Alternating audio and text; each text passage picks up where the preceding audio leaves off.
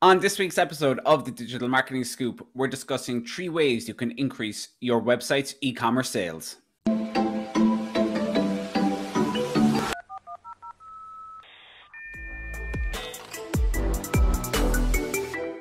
Hey everyone, welcome to this week's episode of the Digital Marketing Scoop. So we know probably a lot of people listening, um, and a lot of small businesses have, you know, they've moved their their a lot of their businesses online in the past few months. Um, so with an e-commerce website, there are there are lots of little things that you can do to help increase your sales. Yeah. Um, um, one thing that's really important to to remember is that you know if somebody's added a product to cart, they've they've given some intent. There's buyer intent there. They've put the product into the cart. So that's a really good time to try and get them to add more into the cart. Yes. Um, so I know one thing we often focus on is the conversion rate, the rate at which people uh, visit the website and turn into a customer. But also an extremely important metric is the the amount spent per customer. Mm-hmm. So if you can increase that amount spent per customer, that's obviously a great way to increase your sales. Exactly, yeah, because they're already on your website, they have the intent there, so it's just about getting more out of them instead of looking for new customers all the time. It's about increasing the um, sales with each customer. Exactly, increasing that that cart value. Mm. So so one great way of doing this is is implementing cross sells on your website. So what that is is you uh, go to your a website, you click add to cart, and then you're presented with another product that you might like. So, um, you know, examples this obviously, you know, on Amazon, people who purchase this might have also bought this. Bought this, yeah. Um, you may what, also like. Or, yeah, exactly. Yeah. yeah. So a lot like you can implement this, you know, with Shopify, WooCommerce, BigCommerce, all the all the platforms. There's there are ways that you can set this up. Um, one way I think is a really good way to do it is if you have a product um, and there are accessories for that product, then it becomes yes. kind of a no brainer for the person to go, okay, if I'm buying this, I, I really need this as well.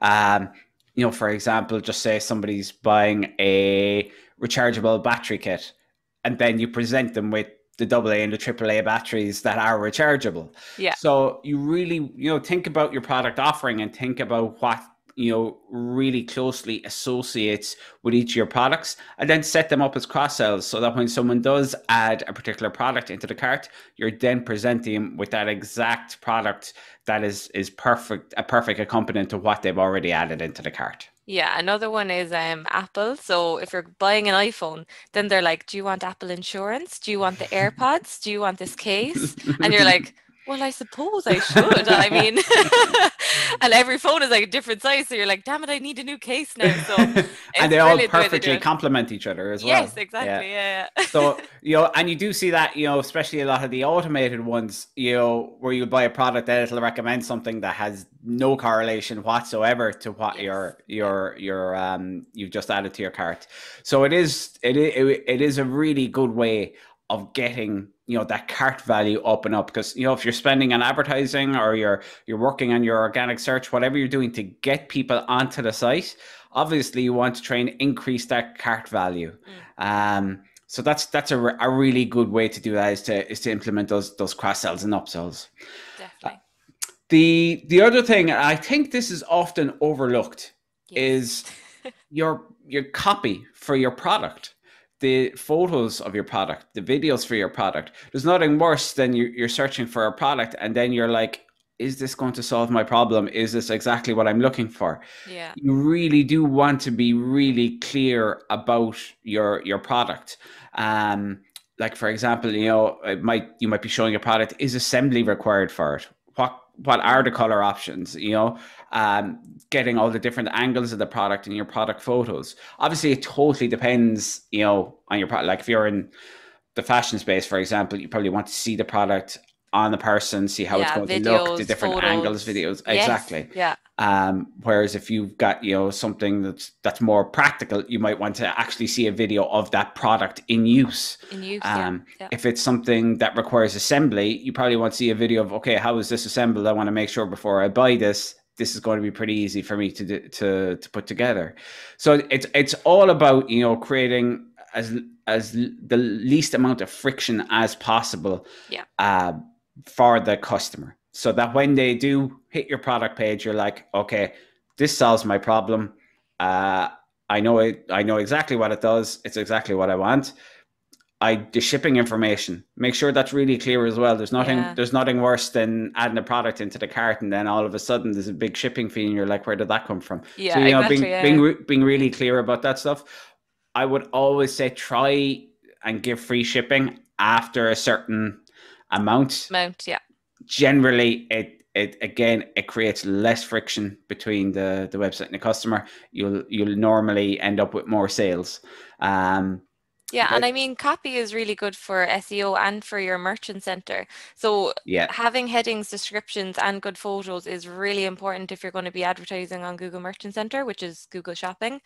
Um, so you really need to make sure and like descri- I know everyone's was like, okay, COVID happened, we have to go online. We just need to get a website. But now it's time to go back and seriously look at your descriptions. Like, is it actually describing it properly? Is the heading describing it? Like photos, like I need like all the angles. Like I need to look through about 20 photos. Like I want a video, like I want it all before I'm going shopping, you know what I mean? So it's uh, going back now and reassessing the whole website. Now that you have it up, well done. Time to go back and work on it now. absolutely. And like you you mentioned there. are the photos and the videos. There's nothing stopping you, especially if you've got a small website, you know, five or six products. You know, setting up your phone, talking through the product that you have, walking people around it, whatever it is. Uh, the more information you can give people on your product, the the better. It's going to completely, you know, create that frictionless environment where they know everything. They know they're making the right decision. Yeah. So absolutely. it is. It is. It is very important. Uh, Also, what we're seeing actually um, with ASOS and a few more brands are bringing this in now, um, with clothing especially, is different models um, with different body types. So that I think obviously that's a bigger scale thing, but it's genius because then you can look because you know you're looking at the models and you're like, will that actually fit me though? Do you know? so what they're bringing is different size models and you can select your body shape and you can choose that model to see all the clothes in, which I think is just a fantastic way to go. yeah. Now I know it's a big job, but it, it's genius. It is, but what it's doing is it's showing the the product in the environment that it's going to be used in, basically. So if exactly, it, it's a, yeah. you know, so you can no matter what your product is, you know, you can you can you can do it that way. Like if you look going back to Apple, like and their their ads with the iPhones, you know, they'll show people, you know, the the alarm going off in the morning. Yeah. I think one of them like it showed they hit the alarm and then like it fell into the, the glass of water, showing it was waterproof. you know, there's yeah. there's it's showing it's showing the product in in use. In context. Yeah. Yeah. Yeah. Um, definitely. And that kind of leads nicely onto onto our third tip, which Mm. is social proof. Um, pe- people are putting, especially if you're an unknown brand, people are putting their trust in you. Yeah. So you're buying a product on their site. They might not know anything about your product, about your website, anything. Social proof is so important. yeah. If there are reviews from Google, reviews from Facebook, Trustpilot, all these places where you can get social proof, where you can show people they ordered a product, it was delivered on time, it did what it Yeah. said it would do. It is so so important for for your brand. Um, all the better if you can incentivize customers, you know, when they get their product to create a, some videos and push them out on their own social media and Yeah. then embed them on your website as social proof as well. Yeah. Creating advocates and kind of maybe getting influencers on board as well. Kind of, it's you know, it's, it's so important because if you're if you're an unknown brand taking that versus say buying something off you know amazon or whatever people that trust is there if you're completely unknown you're going to have to give people a reason to trust you yeah, reassurance. yeah. 100% um, and a great way to do that is you know your product reviews um, testimonials from customers i mean it, i mean written testimonials are you know they're better than nothing but ideally if you've you know video testimonials from customers that's a great great way to be able to to to to have social proof and even better if they post it to their own profiles Yes. then yeah. you can embed it because Link it. the- Yeah. uh, it's a it's a great way to be able to to show people that you know you're you're a brand that that they can trust Definitely. um, so yeah, look, that's that's three things. One, implement cross sells, give people a reason to add more into their cart. Yeah. Two, great product descriptions. As you said, it's great for SEO as well. You know, Mm. product titles, long descriptions, short descriptions, photos, videos. Give people, you know, all the information they're going to need or want on the product. Yeah, and for Google Shopping, it's really And for- and for Google Shopping, all those. and for and the last one then social proof you know show people the the people who've purchased your product or your service and been really really happy with it before um especially as i say if you're a number unknown brand you really really need that Yeah. um so thanks for listening that's been this week's episode of the digital marketing scoop Woo! One done. Do you want to leave and come back?